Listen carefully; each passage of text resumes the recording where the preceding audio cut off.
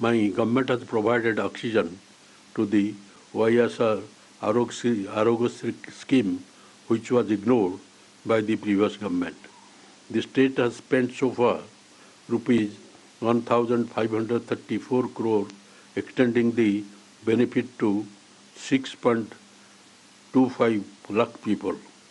The number of medical ailments covered under the scheme has been increased to 2,059 from 1,059 and it has been extended to 13 super specialty hospital in Hyderabad, Chennai, Bengaluru for 716 medical procedures.